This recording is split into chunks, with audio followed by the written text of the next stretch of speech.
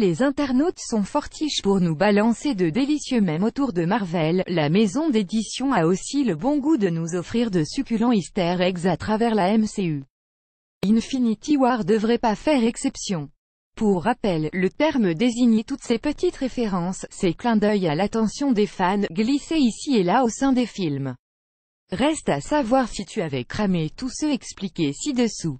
Iron Man avait spoté le shawarma il a bien fait d'installer la vision panoramique sur le casque personne n'a oublié la scène post-générique d'Avengers où toute la bande va se faire un shawarma après avoir détruit la moitié de New York. Ce qu'on sait pas forcément, c'est qu'Iron Man, qui a lancé l'idée du casse-dalle, avait repéré l'endroit bien plus tôt dans le film, comme le montre l'image plus haut. Les champions de Sakahar dans Thor Ragnarok, Hulk est le champion incontesté de Sakahar, filant des trempes à tout ce qui bouge. Mais qu'en est-il des grands combattants qui l'ont précédé dans l'arène? Le film y fait mention lors d'un plan très bref du palais du grand maître où sont incrustés d'immenses casques de champions. On y reconnaît entre autres Beta Ray Bill, Ar, Bibiste et Mansing. Thor et le Docteur. Donald Black quand il échoue sur Terre sans son précieux marteau et ses pouvoirs, Thor finit par se résigner et adopter une nouvelle identité. Celle du docteur, Donald Black, comme le montre la photo de son permis, admirer cette tête de vainqueur. Une référence directe au comique où il a longtemps évolué sous ce patronyme quand son daron Odin l'a exilé sur Terre. Le clin d'œil à The Human Torch dans Captain America, The First Avenger, um, la torche humaine, ça doit rappeler des souvenirs à Chris Evans quand Steve Rogers et son poteau Bucky vont s'enjailler à l'expo sur les futures technologies, on peut apercevoir furtivement un modèle de costume rouge exposé.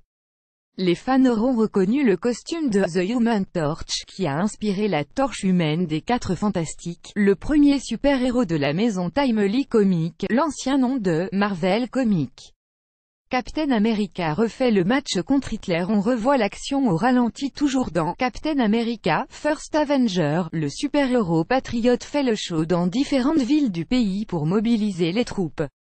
C'est au cours d'une de ces représentations qu'il envoie Hitler au tapis dans une scène qui rappelle très pour trait la cover du premier numéro de Captain America. Le short violet de Hulk, c'est quoi ce délire? Dans L'incroyable Hulk de 2008, Betty Ross décide de refaire la garde-robe de Bruce Banner vu que le bonhomme a tendance à tout déchirer quand il s'énerve. Quelques pièces vont néanmoins faire tilter le scientifique, dont un short violet XXXXL. Là encore, c'est un clin d'œil pour les comiques et le short mythique du géant vert.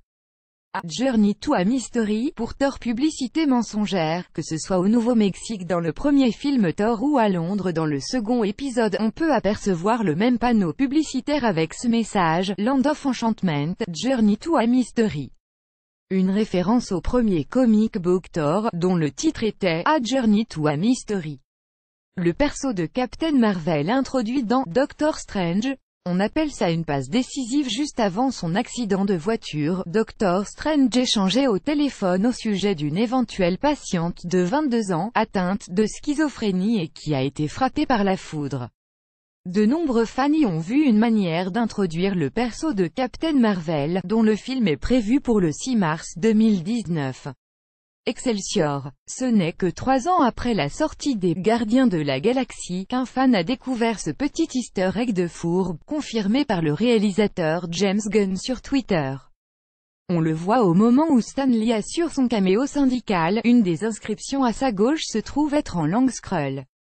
Manière de teaser, là encore, le perso de Captain Marvel.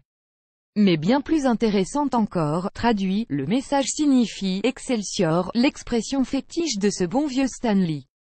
Le bouclier de Captain America dans Iron Man, Work in Progress dans Iron Man, on peut apercevoir subrepticement le bouclier en chantier de Captain America, utilisé trois ans plus tard dans Captain America, First Avenger.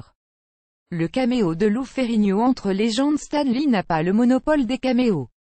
En 2003, dans Hulk, il a en effet partagé cet honneur avec Lou Ferrigno, l'acteur qui reste à jamais associé à la série, l'incroyable Hulk.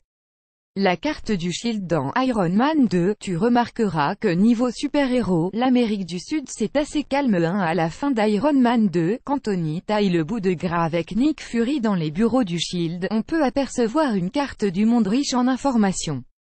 Avec des endroits épinglés un peu partout, dont un en Afrique, qui désignait vraisemblablement le Wakanda de Black Panther. Quant au point au milieu de l'océan Atlantique, tout laisse à penser qu'il s'agit du bled de Namor.